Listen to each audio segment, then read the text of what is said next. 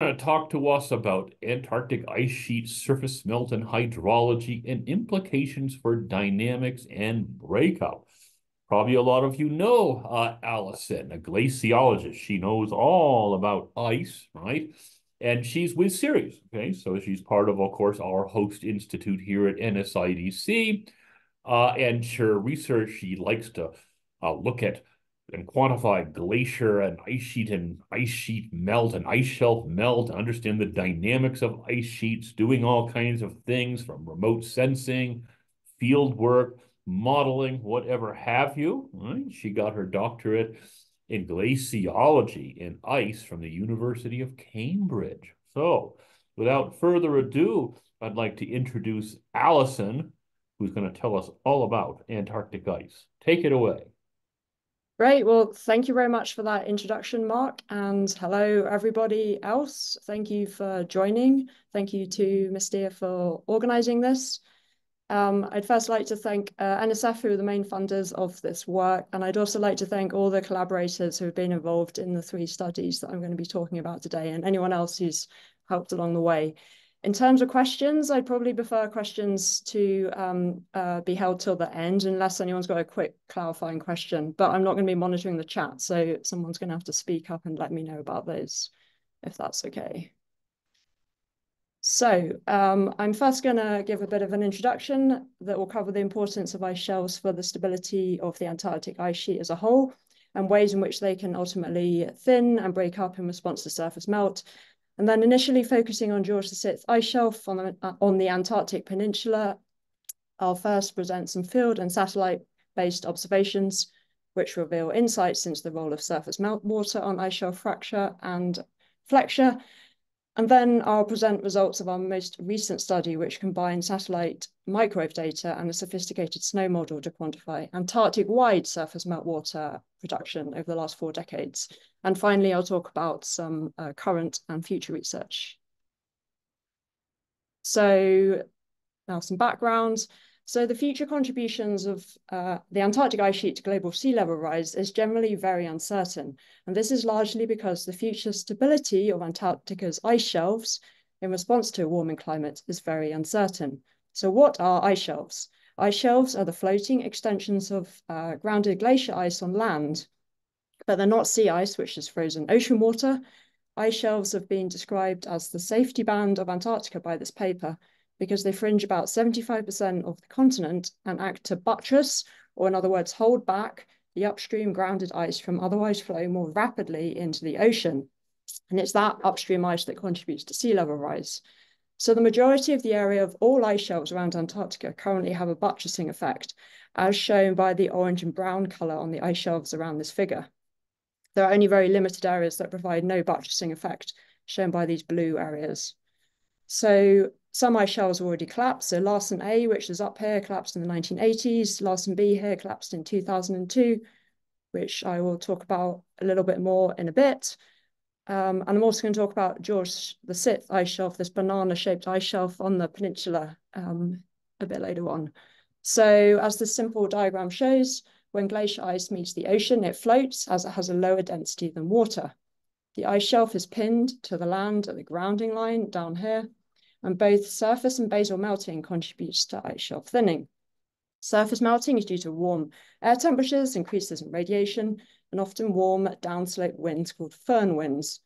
And basal melting, which is due to increased ocean temperatures, is actually the dominant process through which ice shelves thin. However, it's the surface melt processes that I will focus on in this talk. So, as I mentioned on the last slide, both basal and surface melting contribute to ice shelf thinning. However, surface melting also has another important connection with potential ice shelf instability. In warm summers, meltwater is produced on the surface and stored in, in spaces in the firn, which is old snow and not yet um, compacted so much that it's become ice. This refreezing of meltwater causes firn saturation and firn air content depletion. The process eventually results in an impermeable ice shelf surface, enabling meltwater to pond on top of this, as we see on the right-hand side of this figure. Subsequently, these lakes may drain via meltwater-induced vertical fracturing, potentially down into the ocean below the ice shelf, a process we call, we call hydrofracturing. So what is a hydrofracture? So for a fracture or crevasse in glacier ice without water, the tensile stress, which is shown by the black arrows here, helps to keep the fracture open, whereas the ice overburden pressure, shown in the red arrows, tries to close the fracture. But once the water is in the fracture, the additional hydrostatic pressure, which is shown by the blue arrows, arrows can force the fracture vertically down. And given sufficient water supply, the fracture may propagate vertically down all the way through the ice shelf to the ocean below. So this is the key process through which lakes on ice shelves can drain very rapidly, often in less than an hour. And I should say that the same phenomena has been observed on grounded ice in Greenland, but there water drainage from surface lakes goes down to the bed rather than the ocean water. So the biggest event that got us interested in the effect of surface lakes on ice shelf stability was the breakup of the Larsen B ice shelf, which made the front page of the New York Times in 2002, now over 20 years ago. Sorry to bore those of you who've seen this image a million times before, but just briefly, so these two satellite images are spaced five weeks apart. On the left, we see thousands of surface lakes within this blue dashed area. Uh, and then on the right, we see that that whole area within that blue dashed outline has broken up, and now we see a melange or mush of icebergs. In total, about the size of an area about the size of Rhode Island broke up. And this event led to the speed up of the upstream grounded glaciers feeding the ice shelf, which a variety of studies have observed and modeled. And those ice shelves would have contributed to sea level rise. So from observations of this event, it seems that surface melting and lake formation and drainage can be very dangerous for ice shelves. And although at this point it had already been hypothesized that lake drainage events occur by hydrofracture, for example, by many studies by Ted Scambos and others, it wasn't clear why or how all these lakes drained in such a short period of time on this ice shelf. And this was therefore the question that colleagues and I investigated via a series of modelling studies over the last decade, one of which I'll describe very briefly. So our research built on the idea of hydrofracture uh, by also considering how surface lakes can either act as a load when they're full or an anti-load when they drain. And because ice shelves floating on ocean water, the load of a lake can cause them to flex or bend. Is this, if this happens, a specific pattern of fractures can form around the lake, as shown in the top figure here. So we see a surface uh, ring fracture around the lake and basal radio, radial even fractures propagating out from under the lake, under the center of the lake. If enough water enters the fracture under the lake, it can propagate down into the ocean below via hydrofracture. And if a lake drains by hydrofracture, because the ice shelf has lost its load, it will hydrostatically rebound upwards. And a similar pattern of fractures may form, but they'll originate on the opposite sides of the ice shelf. So now the radial, the ring fracture is under the ice shelf, and the radial fractures are on the top, propagating out from the center. So we therefore considered whether if that this fracture pattern I just talked about were to insect, intersect other lakes, whether those lakes could be triggered to drain too. So for this example in the cartoon, the center lake has drained and it's caused a ring fracture here, which has intersected these other lakes. And the lakes that are now gray have drained by via hydrofracture through that ring fracture, whereas the blue lakes are still full of water. So based on this theory, we then modeled the collapse of the Larsen B ice shelf. In this particular model simulation, uh, the yellow lake, which is indicated by the starter lake label here, was triggered to drain, and the stress induced from that event caused fractures to open up beneath the dark blue lakes, which also drain nearby. And then those lakes then caused the lighter blue lakes to drain, and then the green lakes to drain, and so on. In total, there were 14 stages and 626 lakes drained in this particular example. But in reality, we'd expect that there'd be more than one starter lake draining at any one time, which is how a rapid and widespread ice shelf collapse event could occur. So based on the results of the study, we suggested that chain reaction style lake drainage may have caused the breakup of the ice shelf. But when we published this modeling study, which was back in 2013, there were no field observations of ice shelf flexure in response to surface lakes. Um, these were needed to constrain and evaluate models such as this. And this is what I'm going to talk about next. So I'll talk about our NSF-funded study focusing on surface meltwater, flexure and fracture on George VI ice shelf. Um, first, uh, I'll focus on the field observations from that study. So George VI ice shelf uh, is in the southwest of the Antarctic Peninsula, and it's the second largest ice shelf on the peninsula after Larsen C. However, if collapse occurs, the sea level contributions from upstream and grounded ice will be greater than for any other ice shelf on the peninsula, as this ice shelf buttresses the most upstream grounded ice. And extensive surface meltwater ponding has been observed on this ice shelf since the 1940s. However, its retreat so far has been relatively gradual because um, it has compressive flow with ice sandwiched between these two land masses. So ice is coming down uh, from this side of the ice shelf and buttressing up against Alexander Island here. We conducted field work out of um, the Fossil Bluff Research Station run by the British Antarctic Survey, which is a super basic hut with some bunks, but um, definitely more civilized than camping. Um, and we had three field seasons on George VI. The first was in November 2019, so in spring in Antarctica, just before melting starts. We spent a month on the ice shelf um, and installed a variety of instruments. The field techniques and instrumentation we used here builds on a much smaller base study, which we'd previously done in the McMurdo ice shelf uh, in 2017, which I don't have time to talk about today. So as I said, we went in November before the melt season, um, and this was because it would have been possible to travel around on snowmobiles once melting had started, because it would have been too wet. So we chose rough locations of instrument positions from satellite imagery, but then to choose precise locations, um, we wandered around. It was still very hard to do so, given ice shelves are so flat. It was really very hard to know where lakes were going to form, particularly as they tend to move from season to season. So we in installed GNSS or GPS stations to measure ice shelf flexure. Here's an example of one here. You can see it's raised up on, or the battery box is raised up on stilts because we're expecting so much water to flood the ice shelf. Um, we also installed three weather stations to monitor local weather conditions that could be driving melt, and also three time-lapse cameras, one of which you can see here mounted on this pole. So here's a map of our instrument locations in George VI in November 2019, after we deployed them, but before melting had started. You'll note that the GPS stations, which are these red dots, are in transects, um, with one in the center of the lake, and then the others about 500 meters apart going out for them from the lake. So for example, this site here, which is called the local site, we expected the most water ponding to happen around here, where hopefully you can see my cursor, um, and therefore we put the other GPS 500 meters apart. The idea being that we could then measure differential changes in vertical ice shelf elevation along these transects, which can ultimately be used to calculate ice shelf flexure.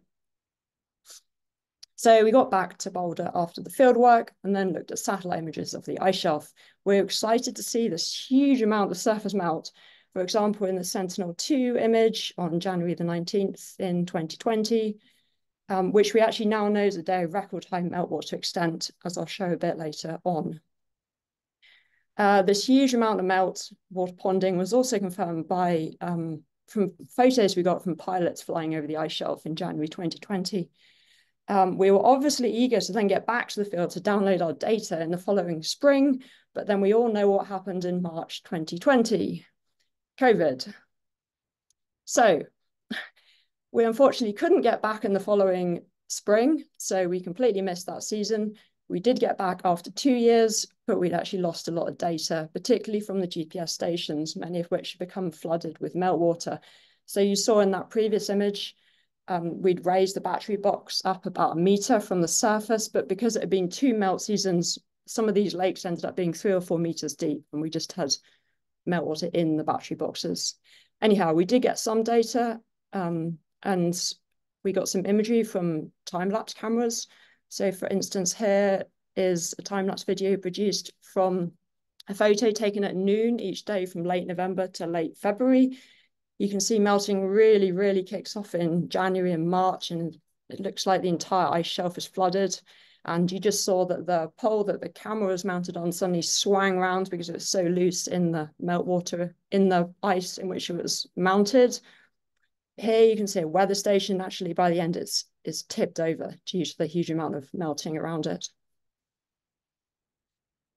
Oh. Sorry, go back. Um, so this is just one photo from that video. 19th of January, again, this is the day we know that had maximum uh, surface melt extent. Um, and it's just really to show what a huge expanse of uh, meltwater um, appeared on this particular date and generally in January and February in this melt season. So I'll now show you some of the data from the instrumentation that did survive after unintentionally being abandoned for two years due to COVID. Um, I should say that none of our data was set up due to transmit over Iridium because our cargo load for the project was already enormous. We couldn't add extra batteries for um, an Iridium connection. So some of the most interesting data we found is from this site here, indicated by the red box called South Doline. Um, and then this is the zoom in of that red box. So what is a doline? A doline is a drained lake feature where a surface lake has drained previously, leaving an uplifted rim around a central depression. So based on satellite imagery, we think this particular doline formed at least 25 years ago, and it formed near the ice shelf's eastern margin and then moved onto the ice sheet with ice flow. And we chose a doline for instrument deployment because the location of the central lake within the center of the doline is predictable due to the surrounding uplifted rim, whereas elsewhere on ice shelves, lake locations are really hard to know where they're going to form early in the season because ice shelves are so flat, much, much harder than studying lakes on the Greenland ice sheet, for example. And then the other reason is that the lake is self-contained, again, because of the uplifted rim around it, which means that meltwater from around the area cannot enter the doline. And this is useful from a modeling perspective. So uh, at this site, we installed four GPS, as you can see with the red dots here, but actually only two functions or two collected data, or rather two we managed to retrieve data from after two years, which were GPS one in the center and GPS two on the rim. Here's a picture of GPS one in the center. And then we also had a, a time-lapse camera on the rim here with the green dot shown in this image here. So this is a photo I took walking into this doline. I'm mainly showing this to um, emphasize how large of a vertical elevation difference there is between the doline rim up here and the center down here. It's about 30 meters in total. And that's obviously was taken before melting started. And now I'm showing you four key photos from our sequence of time-lapse photos, which show the evolution of lakes forming in the Doline Basin through the melt season. So you can just see the, the Doline basin in the distance here. It's kind of this oval shaped feature. So panel A was taken in the spring before the melt season, which is when we installed the instruments. You can mostly see dry firn in that photo. Panel B was taken just before the peak melt season on January the 9th.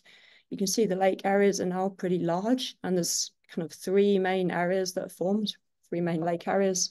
C was taken about uh, two weeks later when lake areas have decreased in size slightly, we also see an interesting moulin and crevasses on the ramp around the central basin. I'll come back to those. And by the 17th of March, which is now near the end of the melt season, the lakes have mostly frozen over or drained.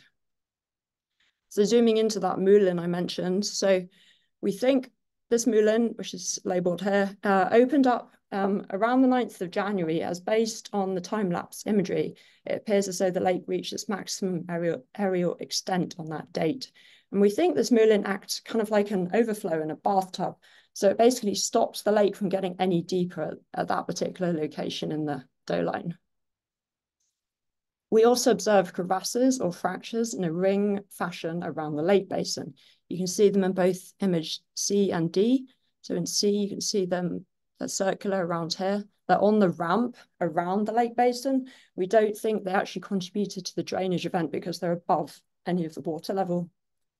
Um, but we do think they formed due to loading from the central meltwater lake in the basin. And again, you can see the crevasse very faintly in image D2. So this is the type of fracture that we think played key role in the chain reaction lake drainage mechanism that I thought talked about earlier. And we think that these are the first field observations of such ring fractures, though they have previously been observed in satellite imagery. So now I'll show you some vertical elevation data from our two GPS. Again, we installed two, we installed four stations, but only two had data on after two years. That's GPS one and two. So the figure in the top right here shows the vertical elevation change of GPS one, which is the center of the basin in red, and GPS two, which is the Doline rim in blue over time in the 2019-2020 melt season, so from mid-December to end of March 2020. The black lines for each are the five-day moving means, and these indicate that the GPS in the Doline basin is lowering relative to the GPS on the Doline rim.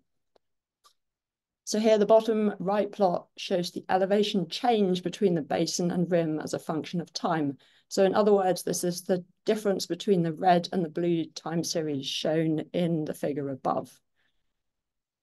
So this basically shows that the center of the Doline is generally sinking through the melt season. In total, it sinks by about 60 centimeters, and this is in response to the loading of the meltwater lake in the center of the Doline. So now some horizontal motion data from the uh, GPS stations. The figure in the top right shows the horizontal trajectory, trajectories even of the Doline Basin in red and the rim in blue.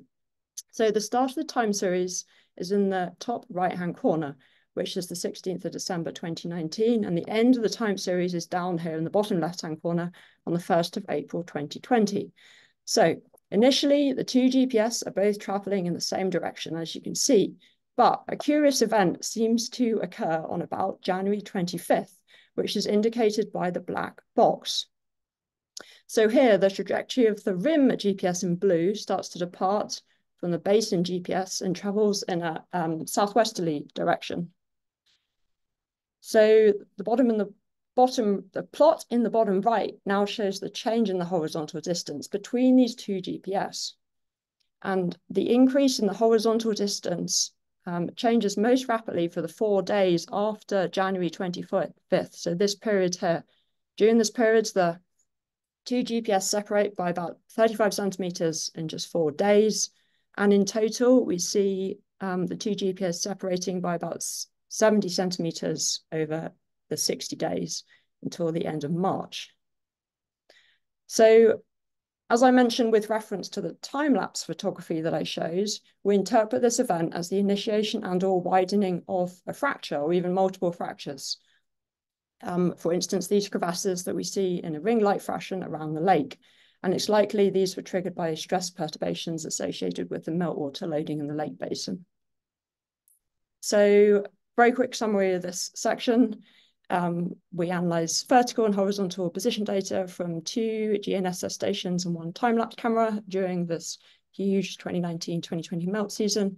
We observed ice shelf flexure with the Doline center sinking with respect to the Doline rim due to the meltwater loading in the Doline.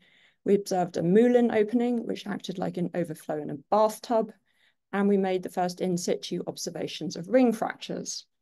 And we have a currently have a paper in revision for the Journal of Glaciology, so watch this space.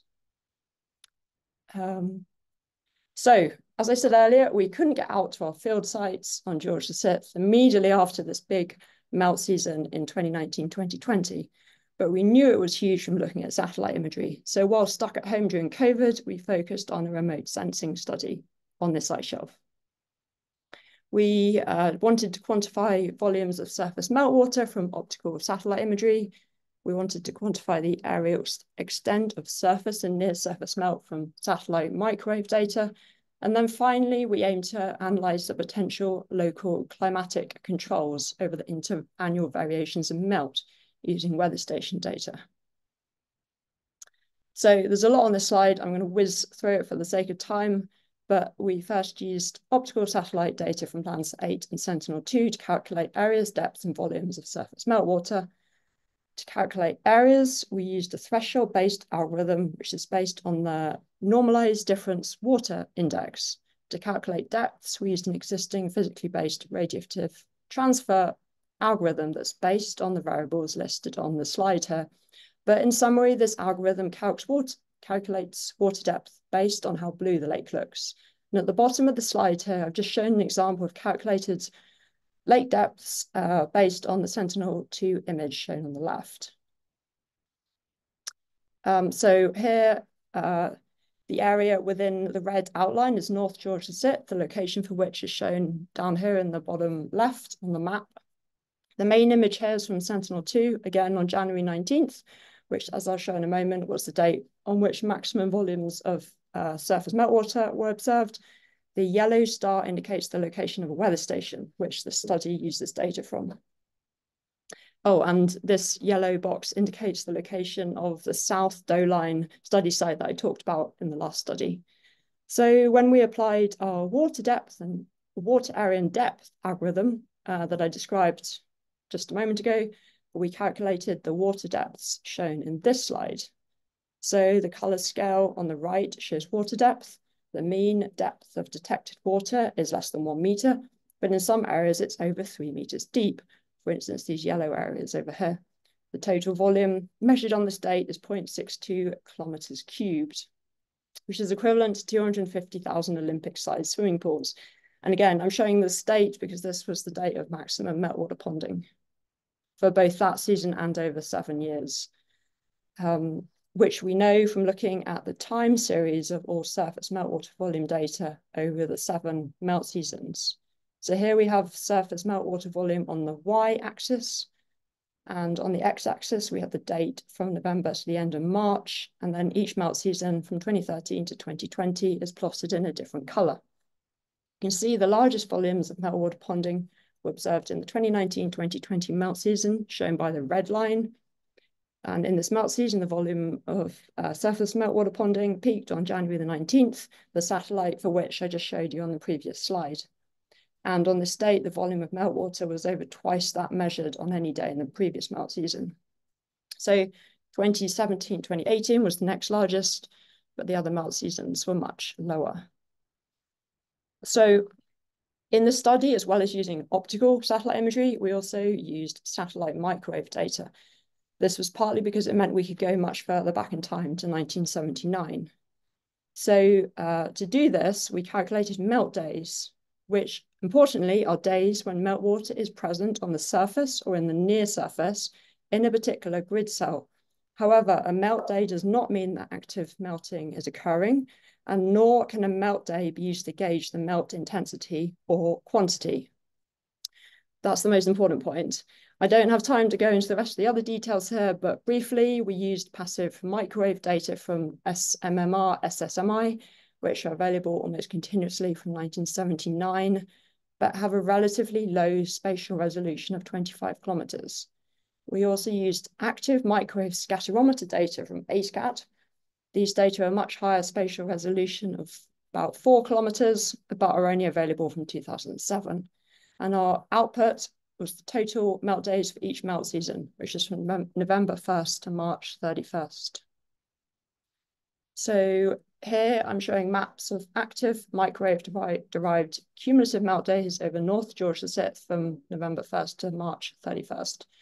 The top plot shows the climatology, or in other words, the mean number of melt days each year from 2007 to 2020. The middle shows the cumulative melt days for 2019-2020 only.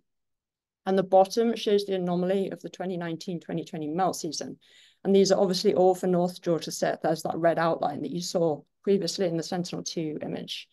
So the spatially averaged mean melt days in 2019-2020 was 117, which is 48 days higher than the mean of 69 days. And now this bar plot on the right shows the cumulative melt days for melt seasons from 1979 to 1980 uh, to 2019, 2020 on the x-axis. For both uh, passive microwave data, which are the blue bars, and the active microwave data, which are the red bars. And according to both data sets, you can see the highest number of cumulative melt days occurred in the 2019-2020 melt season. And generally, the two data sets are consistent, but the active data, which is red, is higher in most years. This is expected as the active microwave data is likely to be more sensitive to melt at greater depths in the snowpack than the passive data. So finally, in the study, we uh, quickly asked the question of why was there such a big melt year on this particular ice shelf? Because it wasn't on other ice shelves on the peninsula.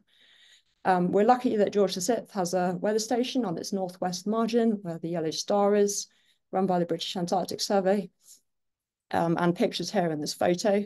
We, of course, had our own weather stations, three of them, but we hadn't managed to get back to the ice shelf yet to download the data. So we analysed the uh, BAS weather data to determine the local climate controls on the melt event. We first analysed daily mean air temperatures from 1979 to 2020. So the mean air temperature over this 40-year period is shown by the black line and the 2019-2020 daily mean temperatures are shown as either positive or negative anomalies from the 1979 to 2020 mean. So positive are red, negative anomalies are blue. So we can see there are lots of periods when the air temperature is continuously above zero degrees Celsius. Uh, for example, this time here in February and March, these times are important because minimal refreezing of surface meltwater would have occurred during these periods. And incidentally, this area of blue here is when we were doing fieldwork this season when the temperature did not really get above minus 10 Celsius. So that was fun. Uh, then to interrogate the local weather data in more detail, we then used 10-minute data instead of daily data. These um, higher temporal resolution data are only available since 2007, though. So this is a super complicated plot. Let's just look at a few things. So the red line shows the percentage of each melt season when the air temperature was above zero degrees Celsius. So in 2019-2020 season, the uh, the temperature was above zero degrees Celsius for at least 33% of the season, which is the highest in the time series since 2008. And then looking at the cyan line, so this shows the longest number of consecutive hours when the air temperature is above zero. The longest period in this melt season was 90 hours, uh, which occurred in February 2020. And again, it's the highest out of all years since 2008, which is up here. So again, these periods of sustained warm air temperatures are important because these will be times when there'll be minimal meltwater refreezing occurring during each diurnal cycle, which likely enhances the surface melt albedo feedback because water has a much lower albedo than ice or snow. So this would have led to more and more melt. And our analysis of winds, which I don't have time to show, suggests that these sustained warm temperatures reduce the advection of warm air mass masses from the northeast. Um, we only see very minimal evidence of warming due to föhn winds. And in fact, as this dark blue line shows, we only calculated nine hours of föhn winds total in this huge melt season. So very quick summary of that section. Uh, the passive and active microwave data both show surface melt duration and extent on North George VI in 2019-2020 were exceptional compared to the 31 previous summers. And the optical satellite imagery also shows that this melt season had the largest volumes of water since 2013. And we suggest that this record melt event was driven by sustained air temperatures of up to 90 hours, sustained warm air temperatures, I should say. And for anyone who would like to learn more, we have a paper published in the Cryosphere about this in 2022, 2021 even. Okay, the third of three studies. Um, I might need to move a bit quicker. So um, this study focuses on quantifying Antarctic-wide ice shelf melt over the last 40 years. As you might guess from the title, this builds on the study I've just presented for North George VI, but now we focus on all ice shelves and we also use a firn model, which enables us to actually calculate the meltwater production. So this is important because understanding current and predicting future Antarctic-wide ice shelf vulnerability to surface meltwater requires a detailed historical record of meltwater production. And as we've just seen, satellite microwave data can help identify the presence of surface melt and near surface melt, but not the quantity of melt. And climate models with firn representations can quantify melt volume, but snow wetness and density data for validation is sparse. Therefore, in this study, we address these limitations by combining passive and active microwave data with output from the firn model snowpack, which is driven by the global climate reanalysis model MERRA2. We first evaluate modeled melt days against those derived from microwave data, because that's the best we can do given lack of in situ data. And once we've gained confidence in the model, we then use snowpack to quantify meltwater production from 1980 uh, over all Antarctic ice shelves. So you, you saw this slide earlier. I'm not going to go through it again, other than just to remind you that a melt day is a day when meltwater is detected to be present in a particular grid cell on a particular day. These melt day data cannot be used to quantify melt intensity or volume, which is why in this study we use snowpack, the firn model. So snowpack is a detailed physics-based multi-layer firn model. It has a detailed energy balance scheme. It's been extensively applied and validated in polar regions, and it is forced with the global climate reanalysis model MERRA2. And it's run at 836 points, which are distributed across the ice shelves. And as I just mentioned, we first calculate cumulative melt days from snowpack um, to compare the melt days derived from the microwave data and then we use the snowpack model to calculate meltwater production.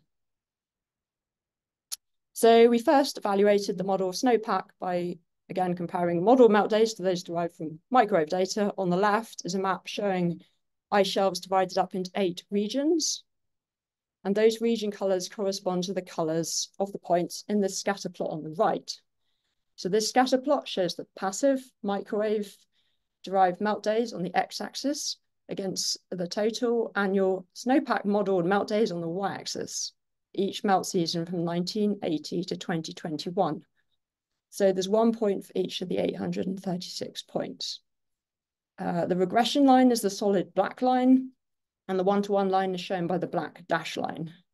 So um, in general, we see that the height, the melt is highest on the peninsula, as we would expect. These are the purple dots up here. In general, the correlation between the modeled and observed melt day data looks pretty good, with a low RMSE of 8.2 melt days and an R squared of 0.75. However, in general, we do see that melt days simulated by snowpack are slightly lower than those observed by the passive microwave data. And um, as indicated by the slightly negative bias of minus 0.14. And this is likely because the relatively coarse grid of MERRA2 fails to cap capture the localized atmospheric processes that are often present over ice shelves, for example, foehn winds and katabatic winds. And these events often occur over the peninsula, which is the area where we generally see most melt. Now, this figure shows time series of modeled versus, versus observed melt days, each melt season, again, over the last 40 years.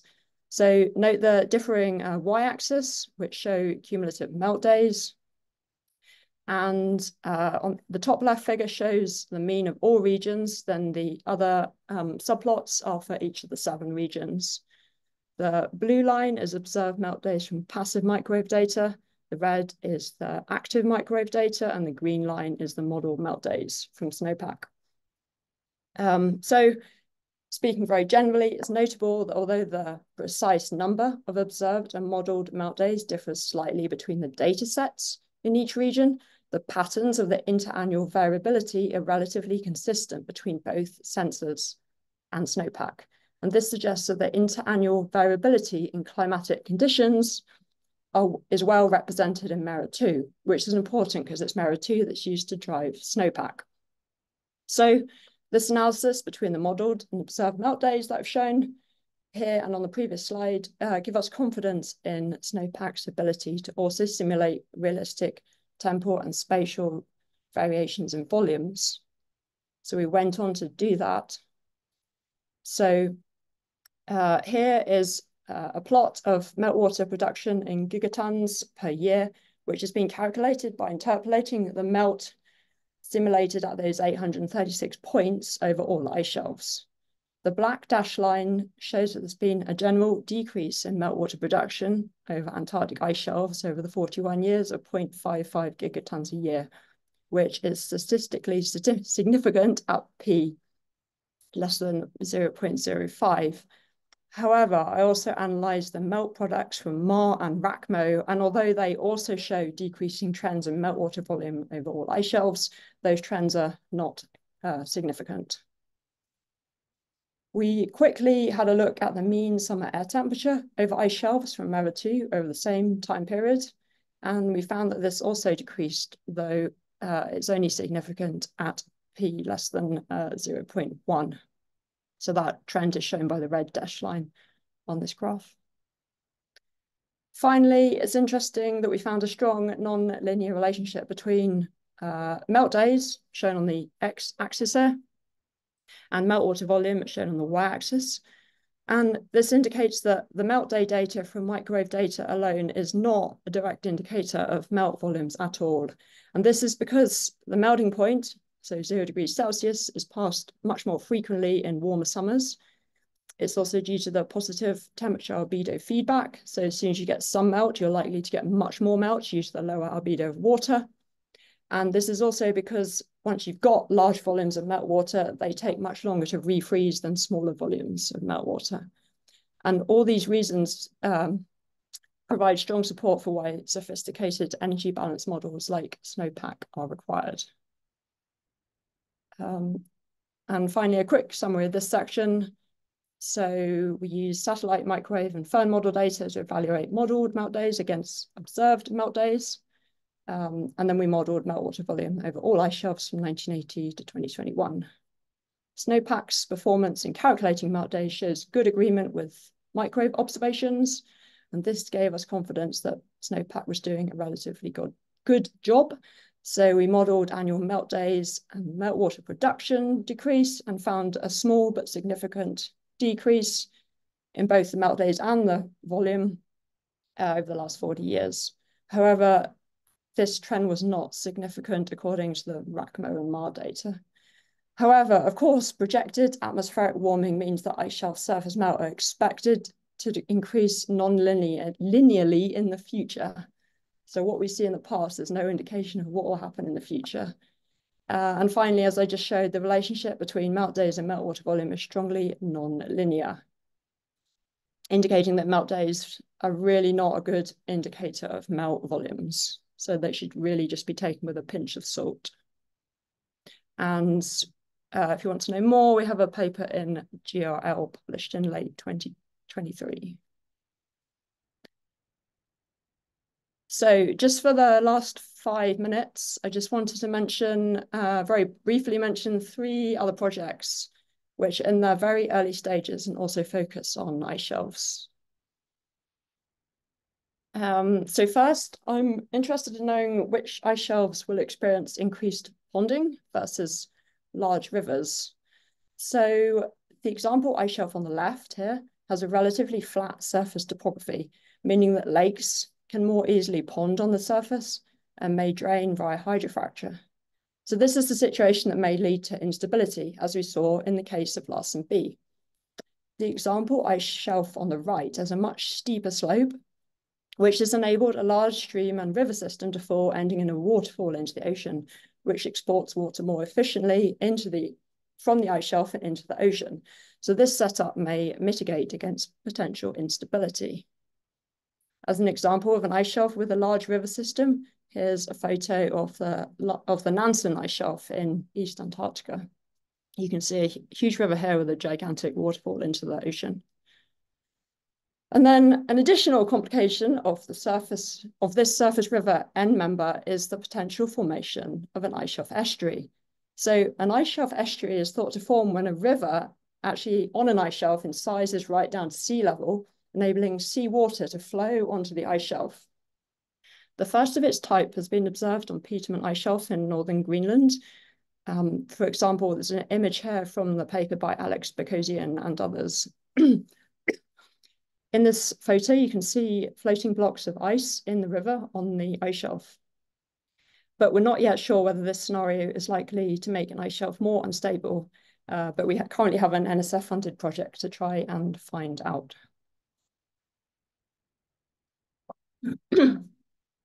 and for a current NSF-funded project, we're working towards incorporating the surface meltwater induced flexure and fracture processes, as I've talked about today, and as is shown in this flowchart on the right, into continental scale ice sheet models that are used to predict global sea level rise. So this is super important because there's currently no ice sheet model that can that can represent these processes in a realistic way, but they're obviously very important when it comes to ice shelf breakup and the subsequent acceleration of the upstream glaciers. So in our case, we'll be working with the ISSM model. Uh, and finally, um, we're developing some new instrumentation and data analysis techniques that use GNSS reflections from glaciated surfaces to detect changes in surface type. For instance, fresh snow, firn, ice, and or meltwater. And I've just returned from doing a proof of concept um, fieldwork study on the McMurdo ice shelf. If proven to be a success, this technique be, could be super useful for ground truthing at satellite observations of surface melt. And that is the end. Thank you so much for listening. And if anyone has any questions, I'd love to hear.